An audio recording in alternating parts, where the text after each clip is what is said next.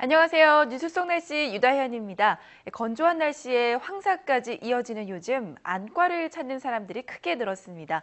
보통 눈이 가렵거나 이물감이 생기면 눈을 비비는 경우가 많은데 이로 인해 2차 세균 감염이 되거나 각막 손상이 될 수 있기 때문에 주의가 필요합니다. 오늘은 좋은 가정의학과 김웅수 원장과 함께 눈 건강에 대해서 이야기 나눠보도록 하겠습니다. 원장님 안녕하세요. 네, 안녕하세요. 네. 자, 이제 날이 부쩍 따뜻해져서 네. 뭐 주말마다 야외 활동하시는 분들도 많이 계십니다. 네. 또 이맘때 시기에 주의해야 될 게 뭐 꽃가루 또 황사까지 이렇게 네. 따뜻한 날씨지만 네, 또 네. 여러 가지 주의를 해야 하는데요. 네. 봄철에 발생할 수 있는 이런 대표적인 안과 질환들 어떤 것들이 있나요? 네, 그 봄이 되면은 그 눈이 가렵고 충혈되고 눈부심, 눈물 흘림을 호소하면서 병원을 찾는 환자들이 많습니다. 이 중 많은 환자가 알레르기 결막염인데요. 알레르기 결막염은 특정 알레르기를 유발하는 항원이 눈을 감싸고 있는 결막에 접촉해서 염증을 일으키는 질환입니다. 네. 계절에 상관없이 생기는 통년성 알레르기 결막염의 원인으로서는 뭐 공기 중 먼지라든가 진먼지 진드기, 동물 털, 화장품 등이고요. 계절성 알레르기 결막염은 꽃가루, 황사, 대기 중 미세먼지 등이 그 원인입니다. 주로 많이 보이는 증상은 다음과 같은데요. 네. 눈이나 눈꺼풀이 가렵다. 또 눈에 통증이 나타나고 따끔거린다거나 결막 충혈이 보인다거나 눈꺼풀이 붓는다거나 또 투명한 각막 주변이 적자색으로 변한다거나 또 결막에 끈적하고 투명한 젤리 같은 눈곱이라든가 또 알레르기 비염으로 인한 증상 즉 재채기, 코막힘, 콧물 등이 나타나기도 합니다. 음. 또 봄철에 나- 발생할 수 있는 또 다른 안과 질환은 안구 건조증이 있는데요. 대개는 눈이 빡빡하고 건조하다고 호소하지만은 심하면 이물감도 심하고 눈뜨기조차 어렵습니다. 안구 건조증은 눈물 분비가 감소되거나 과도한 눈물 증발로 인해서 눈의 이물감, 건조함 등이 중발되는 눈물막 질환입니다. 네. 안구 건조증 증상에는 안구 자극 증상과 시각 증상이 있는데요. 안구 자극 증상에는 이물감이라든가 건조함, 눈부심, 또 자결감, 눈의 피로라든가 쓰라림, 콕콕 찌르는 통증 등이 있습니다. 또 시각 증상에는 흐릿함이라든가 또 빛번짐 이런 것들이 있습니다. 네. 하나씩 짚어보면요. 조금 전에 말씀하신 안구 건조증의 예. 경우에는 봄철에 발생을 할 수 있다라고 예, 예, 말씀을 예. 하셨는데 예. 그렇다면 건조한 날씨가 원인이 되는 건가요? 예, 아무래도 안구 건조증 증상은 되게 오후나 밤에 악화되고요. 음. 건조한 날씨라든가 습도가 낮은 실내에서 어, 심해지게 됩니다. 네. 어, 또 다른 원인은 유해 물질과 미세먼지를 포함 황사라든지 건조한 날씨가 안구 건조증 유발하는 원인이 될 수가 있는데요. 그 안구 건조증의 원인은 크게 눈물의 분비가 감소되는 경우와 눈물의 부- 증발이 증가되는 경우 두 가지로 볼 수 있습니다. 네. 그래서 눈물 분비가 감소되는 경우라든 고령이라든가 눈물샘 질환, 눈물 소관 폐쇄라든가 쇼그렌 증후군, 스티븐스 존슨 증후군에서 발생하게 됩니다. 또 과도한 눈물을 증발되는 경우는 눈꺼풀이라든가 변형이라든가 또 염증, 또 지질 성분을 분비하는 마이솜 마이봄샘의 폐쇄성 질환, 눈 깜빡거림 이상 등에서 나타나게 됩니다. 음. 특히 뭐 40세 이상 나이가 들면서 노안이 오고 또 그 노화 과정에 의해서 눈물 분비량이 감소하게 되면 악화되게 되고요. 에어컨이라든가 선풍기, 바람, 그 난방기 등으로 인해서 눈물 증발이 심해지거나 또 지속적인 TV라든가 컴퓨터, 스마트폰 사용, 독서 해서 눈 깜빡거림이 감소될 때 어, 심해지게 됩니다. 음. 습도가 낮은 막힌 실내 공간에 장시간 머무른다거나 콘택트 렌즈를 착용했을 때도 증상이 악화됩니다. 또 라식이라든가 라섹 수술도 또 그 원인이 됩니다. 네. 날씨가 건조해지거나 또 연기, 먼지 자극, 햇볕, 바람 등으로 눈이 자극되게 되면 안구 건조증이 생기기가 쉽습니다. 평소에 이 눈이 건조해지지 않는 게 가장 중요할 예, 것 예. 같은데요. 이 눈이 건조해지지 않기 위한 방법들 어떤 것들을 예. 생활 속에서 찾을 수그 있죠? 안구 건조증 치료 목표를 크게 과학적으로 매끈한 각막 표면을 유지하고요. 또 그다음에 증상을 호전시키며 각막 손상을 예방하는 것들입니다. 네. 그래서 환경요법을 실시하게 되는데 눈물막의 과도한 증발을 막기 위해서 실내 온도를 낮추고요. 또 가습기를 사용할 수가 있습니다.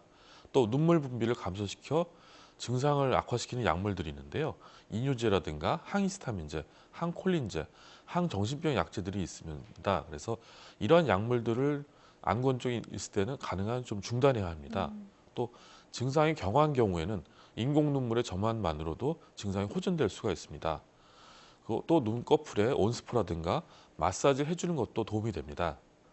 인공 눈물은 눈에 물기를 주고 표면을 고르게 해서 오랫동안 물기를 저장할 뿐만 아니라 눈물의 삼투 농도를 낮추고 염증 관련 인자를 희석해서 안구 표면의 염증을 줄여주는 효과가 있습니다. 인공 눈물은 자주 또 규칙적으로 넣어줘야 하는데요. 불편하다고 느낄 때만 잠깐씩 넣는 경우에는 치료 효과가 잘 안 나타날 수가 있습니다. 음, 대부분의 인공 눈물은 부작용이 거의 없지만은 간혹 인공 눈물에 자극성이 있는 방부제에 의한 부작용이 나타나는 경우가 있습니다. 그래서 네.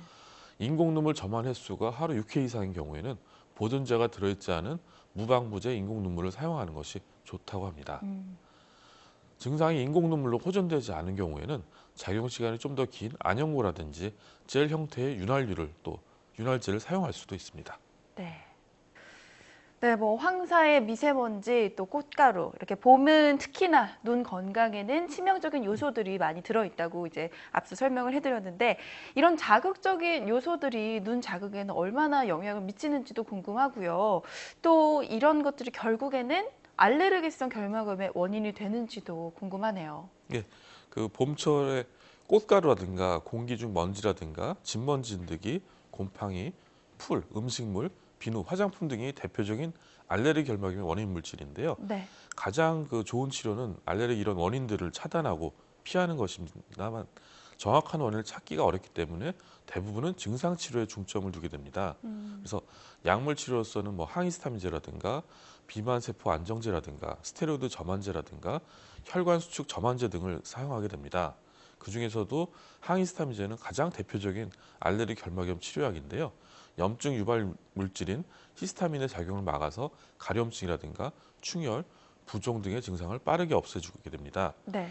알레르기 결막염의 대부분 급성 증상은 적절한 치료를 하게 되면 좋아지고요. 음, 자주 재발하고 만성적으로 진행하는 경우에는 각막 변형이 동- 동반될 수가 있습니다. 그렇게 되면은 시력에 지장을 주는 합병증이 남을 수도 있습니다. 네. 또 마지막으로 눈 건강을 위한 생활 수칙들 몇 가지를 또 소개해 주시죠. 예, 예. 아무래도 일상에서 안구 건조증 악화 요인을 제거하는 것이 어, 중요합니다. 그래서 건조하기 쉬운 계절에는 가습기 등을 이용해서 실내 습도를 적절하게 유지하고요. 실내 온도가 너무 높게 올라가지 않도록 또 조절하는 것이 좋습니다. 음, 봄에 황사가 심할 때는 외출을 삼가고 창문을 닫아놓고요. 에어컨이라든가 온풍기 바람은 직접 쐬지 말아야 합니다. 또 독서라든가 TV, 스마트폰, 컴퓨터를 볼 때는 의식적으로 자주 눈을 깜빡이는 것이 좋습니다. 네. 어, 조명은 직접 눈부심을 유발하지 않도록 설치하고요. 모니터를 볼 때는 시선을 아래로 해서 눈 크기를 작게 해주는 것이 좋습니다. 음, 주기적으로 눈을 감거나 먼 곳을 응시하여 눈의 조절 근육을 쉬게 해주는 것도 좋고요. 또 사물을 볼 때는 30cm 이상 거리를 두고 보는 것이 좋습니다. 또 눕거나 엎드린 자세는 좀 피해야 합니다. 네. 콘택트 렌즈라든가 머리 염색약이라든가 스프레이, 헤어드라이 사용은 자제해야 합니다. 또 몸이 피곤한 경우는 눈물 분비에 저하가 나타날 수 있기 때문에 과로라든가 긴장이라든가 스트레스 이런 것들에 주의해야 합니다. 네. 어, 또 지나친 음주나 흡연은 삼가하는 것이 좋습니다. 또 알레르기 결막염 예방을 위해 중요한 것들이 있는데요. 그것은 원인 물질 노출을 최소화하는 것입니다. 그렇기 때문에 꽃가루가 날리거나 황사가 있을 때는 외출을 삼가야 합니다. 또 보호 안경을 착용해서 눈과의 접촉을 차단하는 것도 필요합니다. 네. 또 귀가 후에는 옷을 털고 집 안으로 들어오고 반드시 손과 얼굴을 깨끗하게 씻습니다. 결막염 증상이 있을 때 제일 주의할 것은 절대 손으로 눈을 만지셔서는 안 되고요. 흐르는 물에 꼭 씻는 것이 바람직합니다. 네. 오늘 말씀 고맙습니다. 봄은 황사에 꽃가루까지 눈 건강에 신경 쓰는 부분들이 많아지는 계절인데요. 무엇보다 건강한 눈을 지키기 위해서는 충분한 수분 섭취와 또 손 씻기 등의 간단한 생활 습관을 지켜주시는 게 안 질환을 예방하는 데 가장 중요하겠습니다. 또 만약에 안 질환이 발생했을 경우에는 대수롭게 여기지만 마시고 가까운 병원을 방문해서 전문의의 상담을 받으시고 더 큰 문제가 발생하는 것을 예방하시기 바랍니다. 뉴스 속 날씨 오늘 준비한 소식은 여기까지입니다. 시청해주신 여러분 감사합니다.